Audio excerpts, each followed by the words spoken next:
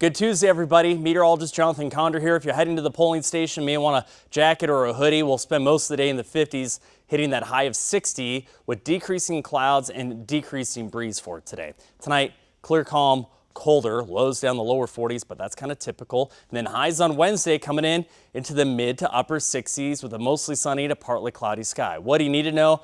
Rain moves in Thursday night, and it's going to rain all day Friday without a risk of severe weather, even though we may have some rumbles of thunder. I'm expecting widespread one to two inches of rain. Somebody's going to see three inches of rain.